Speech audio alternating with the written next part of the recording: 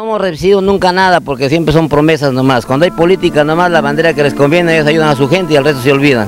Pobres campesinos, pobres niños, estamos que nos ahogamos en media río y no hay siquiera una tabla, siquiera como los años pasados. Por ejemplo, el señor Iván Vázquez Badera, que lo escuche bien su oído, si está dentro de su casa, es sinvergüenza, nos engañó un montón de veces cuando estaba de gobernador. No hay ninguna atención médica debido a esta creciente de los ríos.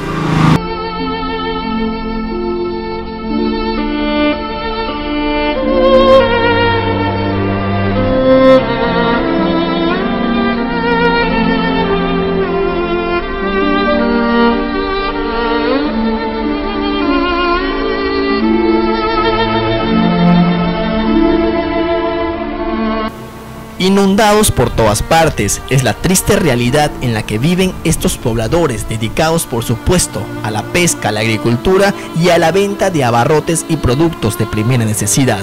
Estamos hablando de la ciudad de Santa Rosa, territorio peruano, ubicado entre la frontera del país vecino de Brasil y Colombia. Una ciudad totalmente aislada y abandonada, que al pasar por estas pequeñas calles y viviendas hoy bajo el agua es la clara muestra de que los damnificados de Santa Rosa viven solos, tristes y afectados por esta crisis de la naturaleza que hoy ha afectado a más de 200 familias.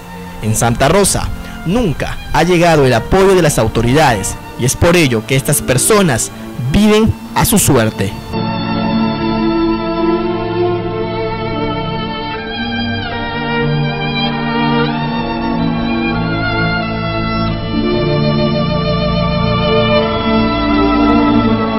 Lo hemos mencionado, nunca llegó ninguna autoridad a esta parte del Perú. Escuelas, parques, comisaría y hasta el Centro de Salud de Santa Rosa se encuentran colapsadas por la creciente de los ríos.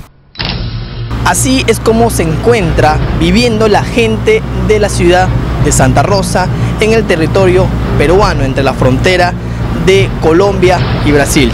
Como vemos en las imágenes, al costado, a mi izquierda, se encuentra este hospital único del pueblo de Santa Rosa, totalmente inundado. El equipo periodístico de Contraluz ingresó hasta las instalaciones de este nosocomio, por lo que es el único centro hospitalario en Santa Rosa. Aquí usted será testigo la forma como el personal médico y enfermeras vienen realizando las atenciones solo por emergencia. En estos momentos vamos a ingresar al hospital Santa Rosa y como pueden ver, hasta nosotros tenemos que sacarnos los zapatos para mojarnos e ingresar a este centro de salud. Solamente estamos atendiendo emergencias, los, este, las consultas en consultorio médico, obstetricia, control CREDE, no se está dando. No se está dando, solamente se está dando las emergencias partos, así como ve igual, emergencia, partos, suturas. Bueno, la señora que está viniendo acá ahorita está siendo atendida y las personas que vienen de comunidad les damos la atención, no hay ningún problema. ¿Cuántos médicos laboran en este hospital? Ahorita solamente contamos con un médico porque dos médicos se fueron a Caballococha por, por la emergencia también que está pasando allá. No hay tratamiento porque por el agua no estamos bien inundados. Debido a la fuerte creciente de los ríos, la atención médica en este hospital fueron cerradas. Áreas como odontología, sala de operaciones, rayos X han cerrado sus puertas a causa de este fenómeno natural.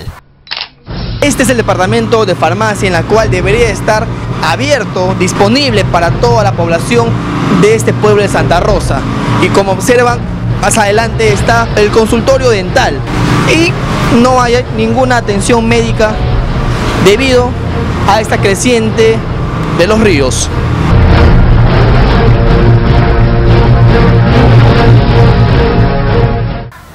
Así es, la farmacia de este hospital Santa Rosa se encuentra cerrada desde hace varios meses. Los pobladores tienen que cruzar la frontera hasta llegar a Tabatinga o Leticia y allí conseguir los medicamentos necesarios para poder afrontar epidemias como la malaria y dengue, que ya consumió varias víctimas, entre ellos niños desde los 5 y 12 años.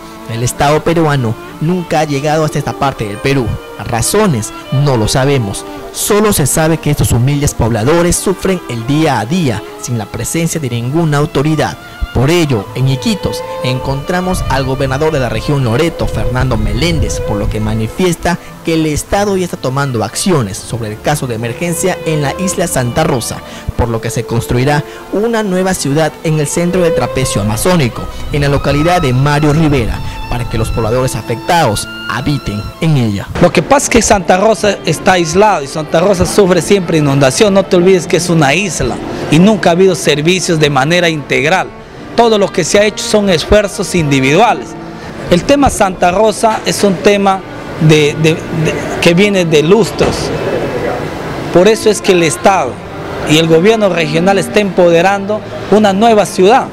O sea, vamos a hacer un nuevo Santa Rosa, solo que ahora va a ser en Mario Rivera, donde va a haber todos los servicios, viviendas, eh, una plataforma de servicios de aduana, de SUNAT, de la policía, todo completo una nueva ciudad. Estamos en, ese, en esa fase, los sectores involucrados como vivienda, los sectores están viajando de manera permanente. No, ya estamos en, en la fase de, de, la implementación. Dentro de poco se está lanzando el gran proyecto para construir el nuevo Santa Rosa.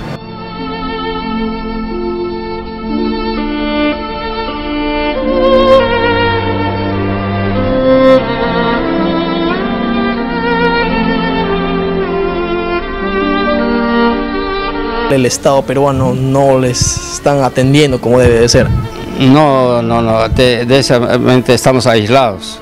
Parece que no, esto, de aquí a empezar el Perú, estamos en las tres fronteras. lo mejor es que están, este, por ejemplo, Colombia bien atendido, Brasil bien atendido, pero Perú estamos completamente aislados. No tenemos, parece que no tenemos autoridad y de esa manera estamos pues padeciendo este, esta creciente fuerte que ha, que ha pasado. ¿Ustedes cómo adquieren sus medicinas? Eh, bueno, como acá trabajamos, eh, este, hacemos algún negocito y si nuestros familiares ah, o nosotros mismos estamos enfermos, acudimos a Leticia. Mi joven no hay atención de los medios por motivo del agua, ¿no? Estaba muy halagado el río, por eso me, solamente emergencia. Ella. Puras mentiras nomás llévate en cuenta que es solamente puras mentiras. Todo lo que ahora es pura mentira nunca cumplen. Y si uno les dice hagan las cosas, hagan las cosas bien, se lo hacen, digamos, en, el antojo que se le da. Y los grandes empresarios que son, digamos, em, los, contratistas de cada obra, se lo hacen para que solamente las, calles peatonales, para que lo agarre y los pescados se, lucren y nosotros lucremos solamente pura agua. Ahora Santa está lleno de agua, ¿por qué? Porque la cancha múltiple que han hecho también han hecho una barbaridad. Lo que más preocupa a estos pobladores de la ciudad fronteriza de Santa Rosa es la vaciante de los ríos. Ellos temen la aparición de enfermedades epidemiológicas como el dengue, la malaria y el chikungunya, epidemias que ya cobraron víctimas en casi toda la región Loreto, siendo específicos en la ciudad de Iquitos durante el año 2011. En la frontera de Leticia, Colombia, ya se ha confirmado dos personas infectadas con el virus del chikungunya, por lo que se teme que este mortal zancudo ingrese a territorio peruano. No solo la población del territorio fronterizo de Santa Rosa se encuentra en emergencia, el pueblo de Chimbote, San Isidro y demás localidades ubicadas a orillas del río Amazonas, navegando a 8 horas río arriba desde la ciudad de Iquitos, también se encuentran en alerta roja. Varias familias lo perdieron absolutamente todo, ya que nunca son escuchados por las autoridades, autoridades que poco o nada se preocupan por estas familias más necesitadas.